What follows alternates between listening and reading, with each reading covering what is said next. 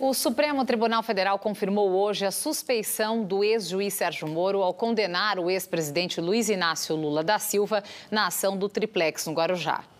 Faltavam os votos dos ministros Marco Aurélio Melo, que havia pedido vistas, e do presidente Luiz Fux. Por sete votos a quatro, a corte decidiu que o ex-juiz Sérgio Moro foi parcial durante o processo do triplex no Guarujá. Lula foi condenado por Moro a 12 anos e um mês de prisão, sob a acusação de ter recebido 2 milhões e 200 mil reais de propina da empreiteira OAS por meio de reformas no apartamento. Agora, o caso volta a estaca zero e será retomado pela Justiça Federal de Brasília.